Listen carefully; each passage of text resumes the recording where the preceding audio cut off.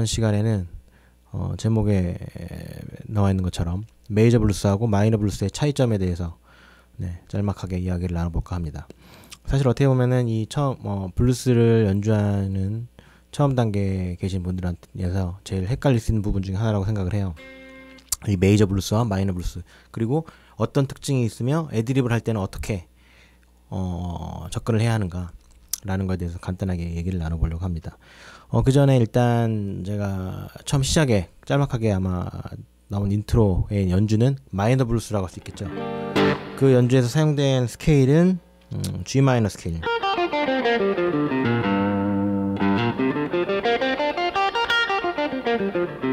마이너 pentatonic 스케일이죠. 네, G 마이너 pentatonic 스케일. 이걸 가지고 쭉 연주가 되고 있고 사용되는 코드는 G 마이너, C 마이너, D 이 세 개 가지고 마이너 블루스가 이루어지고 있죠. 네. 그래서 이제 마이너 블루스의 코드 진행이 이렇고요. 이제 메이저 블루스는 아마 여러분이 아시는 것처럼 12마디 진행, 둘 다 똑같은 12마디 진행인데 어, 일단 여기서 코드 진행에 관련된 거는 제가 첨부 자료로만 설명드릴게요. 아마 영상에 첨부를 할지 따로 자료를 첨부할지 모르겠는데 어떻게든 이렇게 영상에서 같이 보시면서 네, 이 마이너 블루스와 메이저 블루스의 진행을 일단은 어, 네, 아실 수 있도록 진행 어, 진행표, 네, 진행표는 제가 어떤 식으로 첨부를 할 거고요. 그래서 이 진행에 대해서도 사실 할 얘기는 많은데 네, 일단은 네, 언제나 그랬듯이 네, 어, 그냥 네, 즉흥적으로 네, 만드는 컨텐츠이기 때문에 일단은 마이너 블루스와 메이저 블루스의 차이점. 네. 언젠가 이렇게 만들다 보면 또 그 나름의 커리큘럼이 생기겠죠. 네.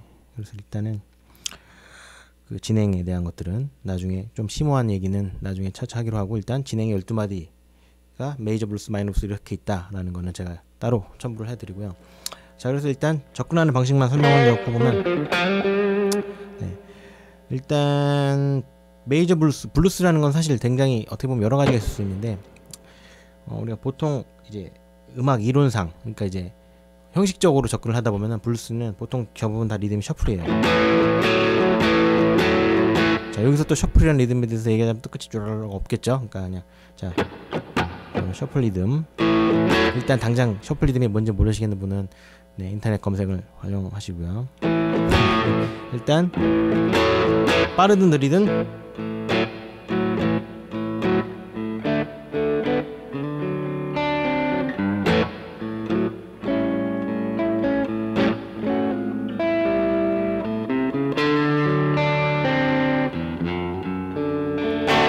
shuffle 리듬은 보통 블루스는 일반적으로 연주가 되죠. 근데 메이저 블루스는 오히려 제 일반적으로 봤을 때 마이너 블루스보다는 좀 더 카테고리가 넓다고 볼 수 있어요. 적어도 지금까지 나온 형식적으로 봤을 때. 왜냐면은 메이저 블루스는 이런 shuffle 리듬도 있고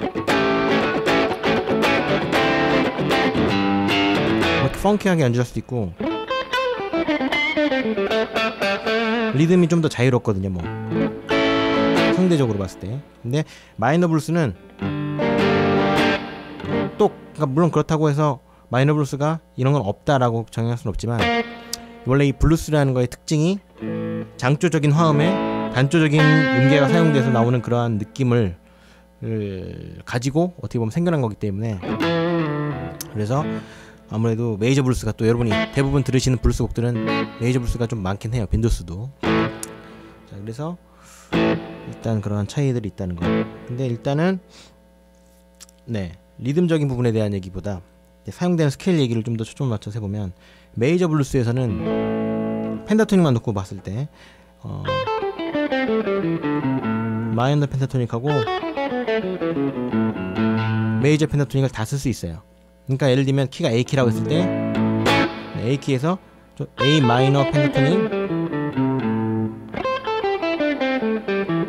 그다음에 A 메이저 pentatonic 두 가지를 다 쓸 수가 있다는 거죠. 근데 마이너는 G 마이너 키다. 그러면 여기서 G 메이저를 써버리면 조성이 네, 엇나가 버리죠. 완전 불협 완전 완전한 불협이 돼 버리기 때문에 마이너 pentatonic 마이너 블루스에서는 pentatonic은 그 키에 해당하는 마이너 스케일만 쓰는 게 일반적이라고 볼 수 있어요.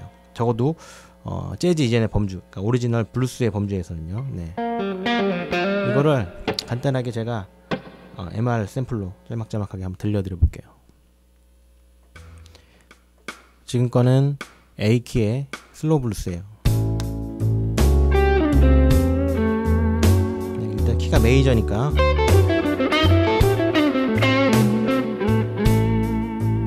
네, 지금 이제 마이너 펜더튜닝을 쓴 거죠.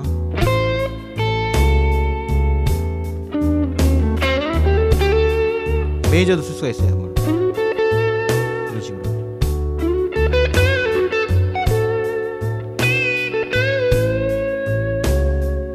좀 더 느낌이 밝죠? 아무래도 메이저는.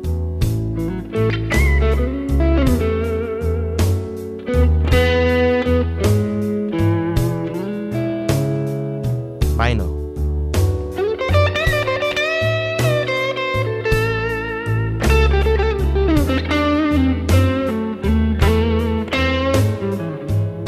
네, 이런 식으로.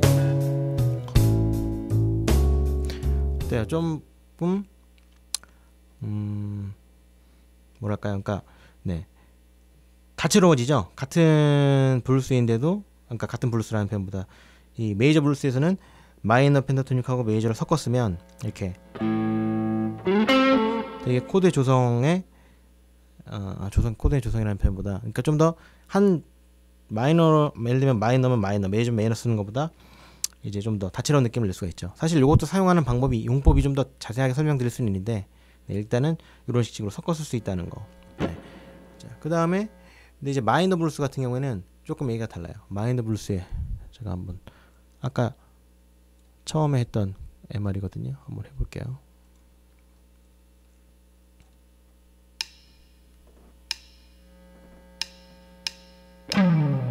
네, G 마이너 키예요.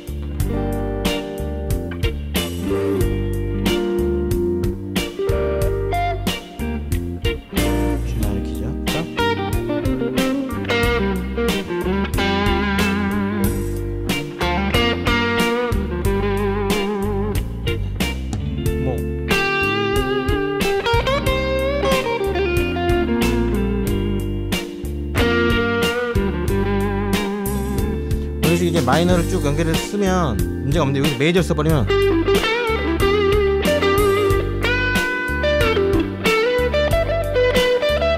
결정적으로 이 장삼도음 그러니까 G 같은 경우에는 지금 시음이죠. 이게 대놓고 이렇게 마이너 조성을 훼손되기 때문에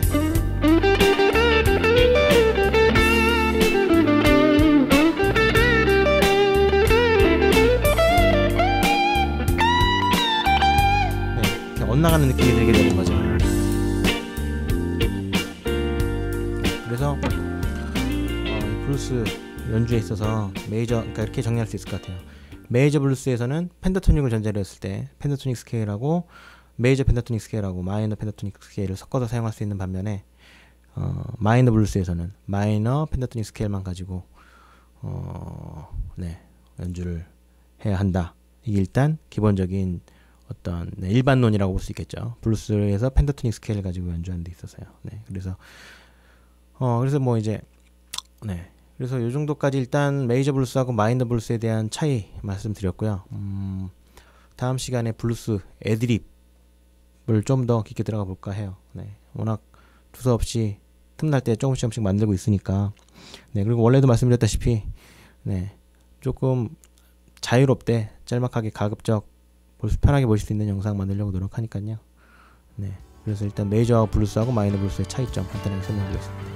네, 다음에 또 블루스 애드립 관해서 다른 영상으로 찾아뵐게요.